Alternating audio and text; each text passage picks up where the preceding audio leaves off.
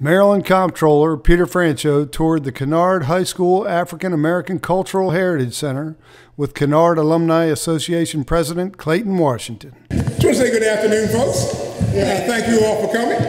We're proud of the work that's been done here to create this new building. Out of what was old and what was unused is now new and usable again. The mission of the Kennard Alumni Association is to provide a learning resource that models the history and culture of the African American community in Queen Anne's County. This learning resource will offer programs in education and cultural arts to all youth and adults of this and neighboring counties. And we want to thank Comptroller Franchot for coming because the state and the county, we have three commissioners here, were instrumental in getting this to happen. Two thirds of the funding for the renovation project was provided by the county commissioners and the State Board of Public Works. And we, and we raised the other third. I just wanted to say how delighted I am to be here, uh, Clayton, and I really think you represent, obviously, the spirit of Lucretia Kennard. Uh, she made a difference in her life, and I think you represent the very best of her uh, values and principles. So I'd like to give you one of my much coveted comptroller medallions. Thank you. Restored High School and Museum provides a window into the rich history and heritage of African American culture on Maryland's Eastern Shore. The museum has replicated the school's original science classroom, which will be a permanent exhibit with text panels, recorded audio, video histories, and artifacts donated by former students, staff, and community. Our board is made up of past graduates of Kennard or teachers that taught at Kennard. Paulette Jones, Brenda Dodd, Melvin Shore, Madeline Hollis, Alice Hutchins, and Mr. Charles Meadows.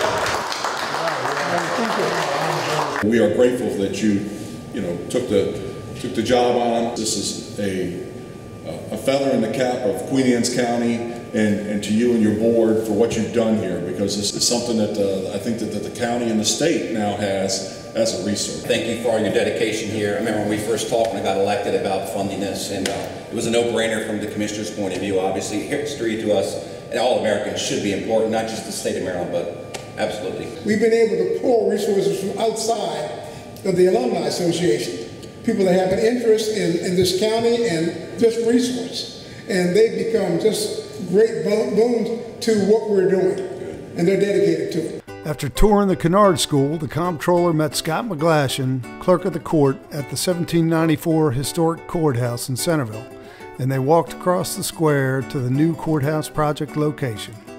Local officials were in attendance, along with the engineers, architects, and project managers from the Department of Public Works. They took a quick tour of the new 42,000 square foot circuit courthouse currently under construction. The new building will replace the existing 220 year old historic courthouse and is slated to open in 2018.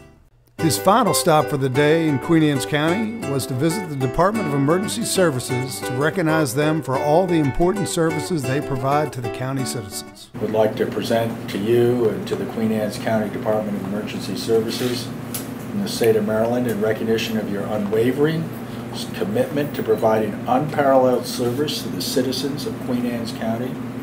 Special appreciation for your heroic efforts in assisting residents and businesses during and after the EF2 tornado that touched down on Kent Island in July 2017. And with heartfelt gratitude for your invaluable contributions to the surrounding communities, many thanks and best wishes for continued success and growth in the years ahead presented this 11th day of September.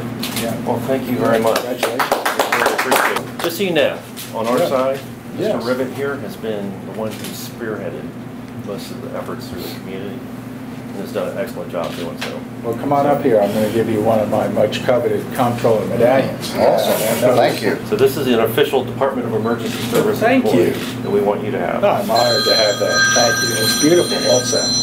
Thank you very much, Scott.